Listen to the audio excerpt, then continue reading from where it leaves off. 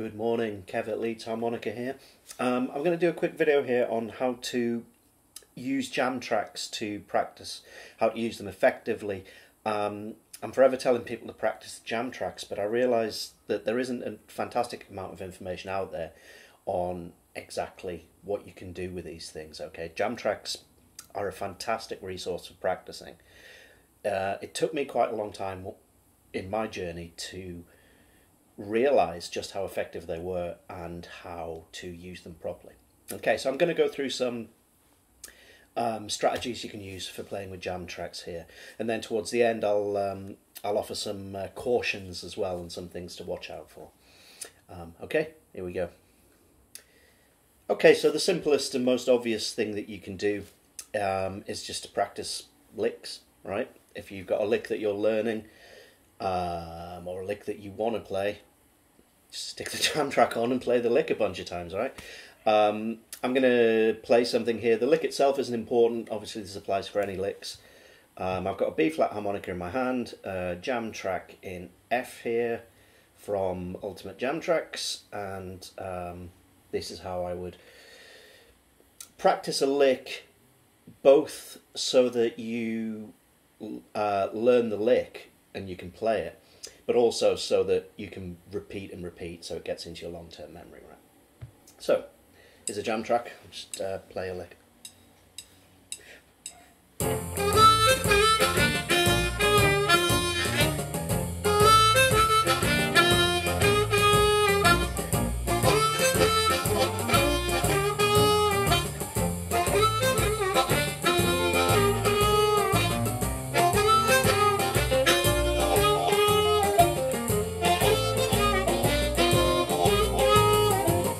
And I could just keep playing that.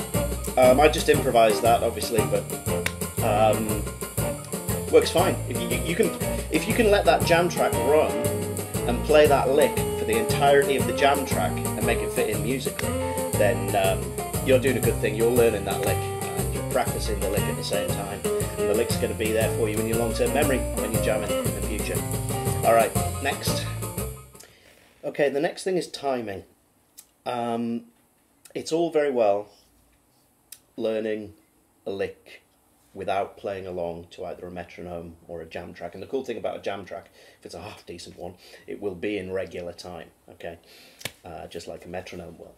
Um, so if you're trying to come up with a lick, I can play that. Well, I say I can play it, apparently I can't.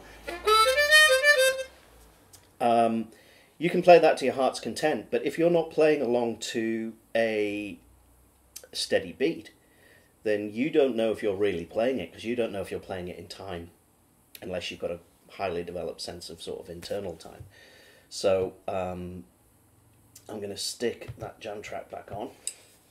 You might find if you've been learning a lick and then you come to play it, you're suddenly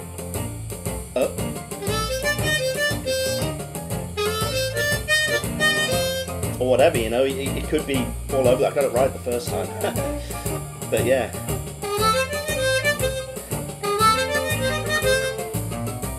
Um, you need to know that you can that you're filling it in, and you also need to know whereabouts you want to start playing that in time. Does it come on the one? Does it come on the two? Does it come on the end of the two? All right, timing is is vital.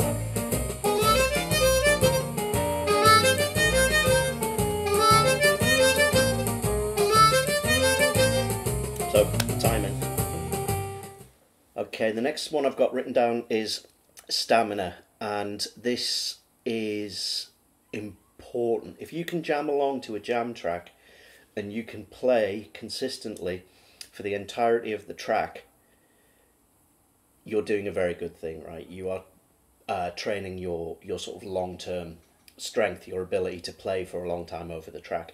Now, you can do that either by repeating licks like we just talked about, or um, you can have a whole series of licks that you want to keep fitting in. But the important thing is that you're playing a chorus after chorus after chorus. Now, ordinarily, if you were playing in a band, you wouldn't get that many choruses unless you were in charge of telling everyone what to do, or if you were just playing a um, an instrumental by yourself. Um, so yeah, stamina. Um, there are some jam tracks on YouTube that are for uh, guitar primarily, but I've seen some that last 20, 30 minutes. So, um, not that you need to play for that long.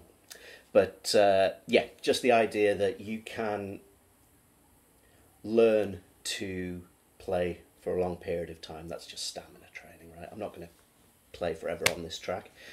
Um, but yeah, stamina. Okay, I've already hinted at this um, on the way up here, but um, repetition. Repetition is your tool when you're it's your tool to use when you're learning to ingrain certain licks, certain movements, certain breathing patterns, whole choruses, um, specific licks that you want to fit over a specific part of the chorus, like we are just looking at. Um, repetition in practice is the way that you learn. It's how you build up your muscle memory. Um, it's how you get stuff to seep into your long term memory so that you don't even need to think about it. You can just start playing a hole and a little lick's going to pop out, right?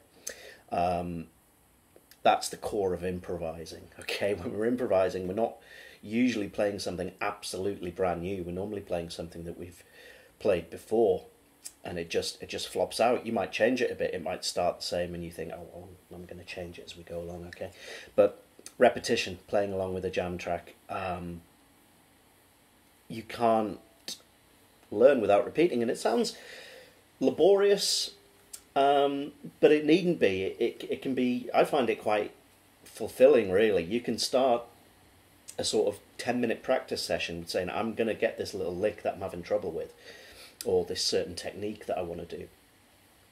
And if you just sit and put that jam track on, and you repeat and repeat and repeat, and it doesn't have to be just that, you can fit other things in, you know, but keep coming back to that one idea that you are trying to get on top of, to get control of. Um,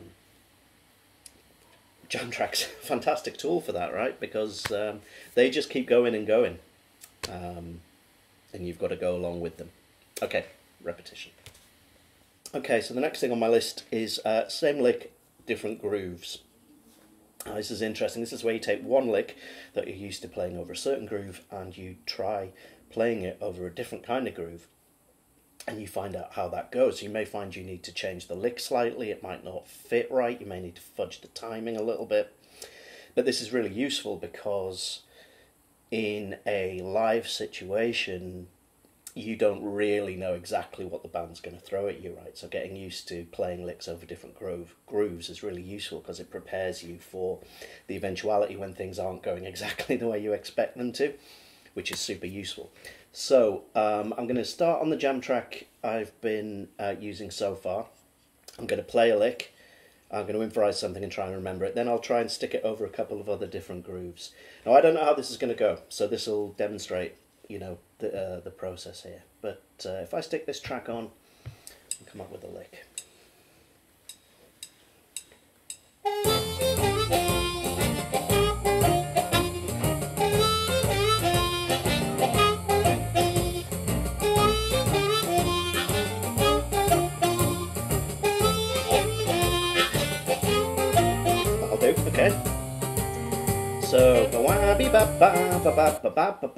So that is what's called, well, it's, the track's called a marching shuffle. Um, I'm going to have to change harmonicas here because I'm about to change keys. This is a much slower track. Let's see how this goes.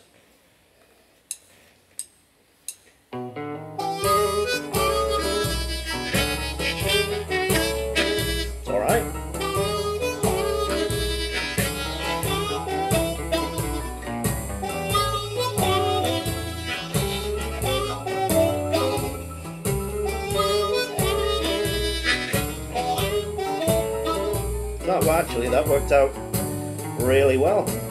Um, let's try another one. I'm going to change keys again. This one's in G, so... Now this one's quite different. This is a two feel.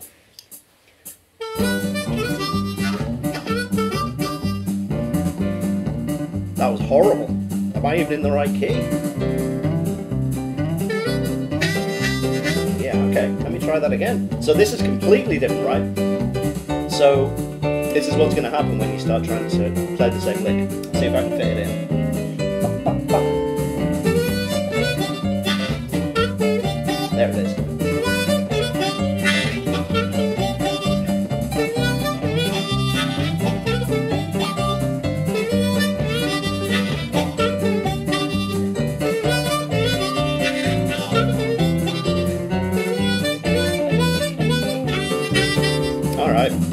So there you go, you see. Um, that's how that works. So it's really useful practice. Um, okay, the next one, again, is related to learning licks. This is building up speed. And again, you need something, a bit of software like the Amazing Slowdowner or Transcribe or whatever you're using. Something that will allow you to slow down the uh, tempo of the track without changing the key. So this is especially useful for speed licks. Okay, so I'm going to go back to that uh, two feel we had just before because that was nice and fast, but I've slowed it down to around 70% of the original speed. So I'm going to try and put a lick over this nice and slow.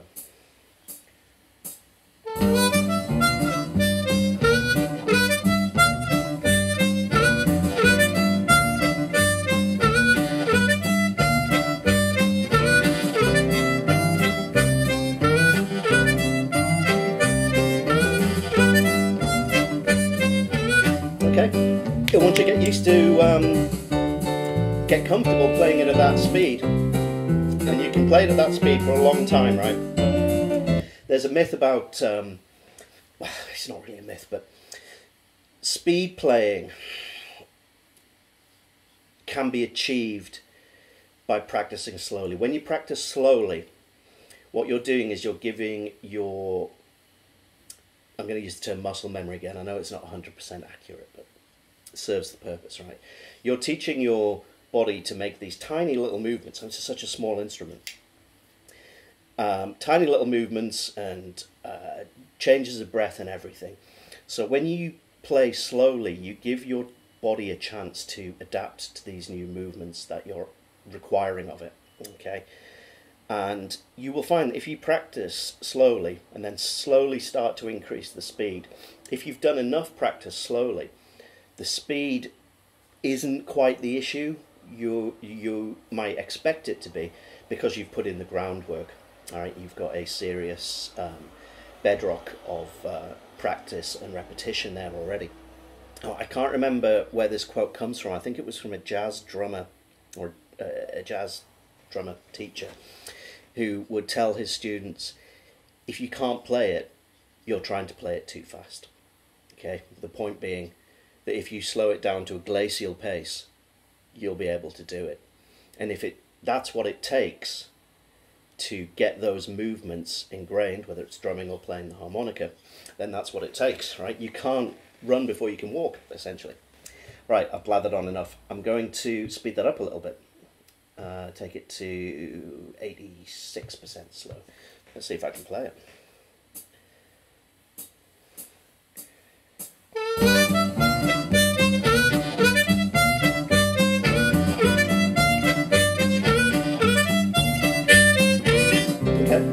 Bad.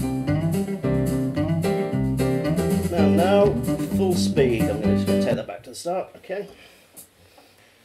This is the original speed of the track. Oh, it snuck in before I was even ready. See, this is what happens.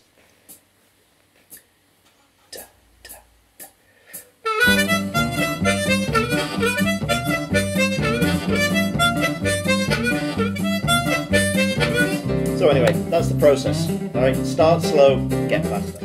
Next thing as we rattle through these, uh, songwriting um, by which I mean sort of instrumental writing. If you want to come up with a, an original harmonica instrumental, um, you are really going to struggle to do that unless you're using a jam track, unless it's specifically um, a solo harmonica piece that's designed.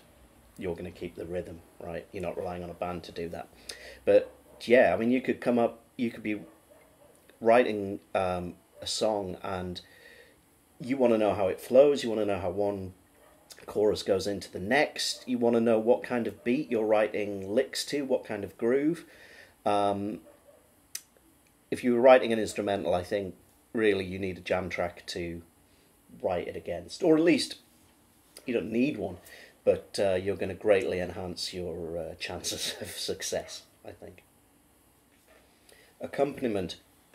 Now, there aren't a huge amount of jam tracks out there that have vocals on them. Um, there are some. Barrett's got some good ones, um, and what have you. I'm going to link them all down below, by the way. If you want to learn to effectively accompany a singer, you need to have a singer to work with, right? Whether it's a real live one or one on a jam track that you can keep rewinding. It's one of the big things about accompaniment is that you don't want to stamp on the vocals, right? You want to enhance or sit in and in, weave in and out of the vocals. Um, but accompaniment is a big one because really, if you're not soloing, which you're not doing 80% of the time, or more than that probably, then what are you doing on the bandstand? You're accompanying, you're being part of the band. So learning to follow the chord changes, learning to play in the cracks and the vocals, all that stuff. Um, you really need a good jam track with uh, with vocals for that. Um, or the, the other option, of course, is to just find songs that don't have any harmonica on them already. They're a great way of doing that if you can find the right key and whatnot. But yeah, accompaniment. And lastly, you'll be pleased to hear. Um, the last thing I've written down is just for fun. If you just want to, the, the, harmonica is an instrument that really wants to be played with other instruments, okay? And if you don't have um, other musicians at, you, at your beck and call all the time who'll sit and play with you, then what are you going to do if you're by yourself and you just want to jam, right? You just want to have fun, you want to play licks that you know, you've had a hard day at work, you want to have a, a few drinks and just let your hair down. I mean, I do that all the time with jam tracks. If I just want to blow blow off some steam, I'll put the amp on, put a jam track on really loud, and uh, just have a way at it for, you know, ten minutes, half an hour, whatever. It's important, I think, um, when you know, because I'm always sort of trying to help people learn how to play. You've got to keep. It's got to be fun, right? There's no harm whatsoever in playing things you already know how to play and just having fun with it. That's really important. And jam tracks are great for that. Okay, so coming on to some of the um, cautions now, things to watch out for. Um, it really helps to have good quality jam tracks. If you haven't got a good quality jam track, really, you may as well be playing along to a metronome some of them out there are really just full of MIDI beeps and they haven't got real instruments on and they just sound a bit grim and horrible. Um, not so much fun to play with. So it's it's really much more inspiring and much more useful if you've got uh, really good, decent, well recorded jam tracks to play to. Um, I will link some down below. Um, obviously, bluesharmonica.com uh, Ultimate Jam tracks, uh, Jimi Lee's Groovetrax, Dennis Gruenling's got great jam tracks. They're, they're, Dennis Gruenling's are really interesting because they're acoustic and there aren't many acoustic jam tracks out there and he's got them in all different grooves and different keys and whatnot. Um, and there, there are jam tracks, good jam tracks on YouTube. Um, you may spend a while looking for them, but they are out there. Okay, so get good jam tracks. That's the first one. This one is really important. Um, jam tracks are not, repeat, not a substitute for playing with other musicians in real life. Um, their preparation for it, they're incredibly useful preparation. Um, in fact, if you haven't practiced with jam tracks, your chances of success when you're with other musicians, if you're not used to it, is is pretty low. I'd say um, off the bat. Um, but you can't replace the well, it's the feeling of playing with other musicians and it's also in a sense the danger because they may not stay as rigidly in time as they need to and you've got to adapt for that.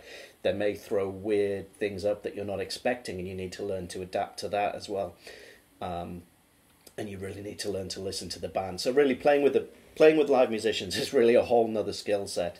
Um, you cannot um, substitute playing with other musicians with playing with jam tracks. Um, it just doesn't work. But it's great preparation for playing with other musicians. Um, okay, lastly and not leastly, thank you for sticking with this. If you're still here, by the way, um, don't get stuck playing to the same jam track all the time. This is something I'm guilty of. I've got certain jam tracks that I put on all the time, and I need to just force myself to get out of that habit because you need to play to different grooves, even if it's the same groove. Listening to a different track that's been recorded with different musicians or whatnot will take you in different directions with your own improvising and your own ideas.